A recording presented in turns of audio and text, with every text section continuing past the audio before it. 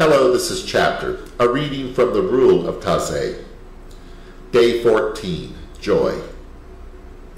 In the communion of saints, day after day, we sing the ever renewing, com renewed compassions of the Lord, and his mercy quickens our fervor.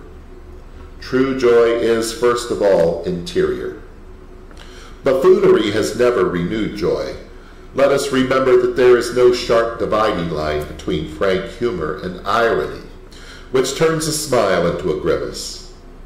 Mockery, that poison of common life, is treacherous because under its cover are flung the so-called truths one dare not say face to face. It is cowardly because it ruins the person of a brother before the others.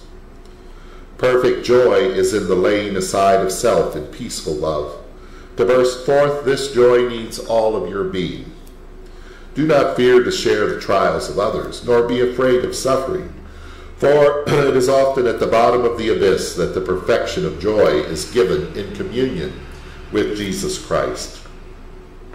Perfect joy gives itself. He who knows it seeks neither gratitude nor kindness.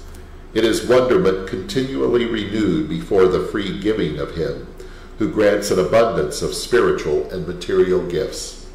It is thankfulness. It is thanksgiving. Rule says,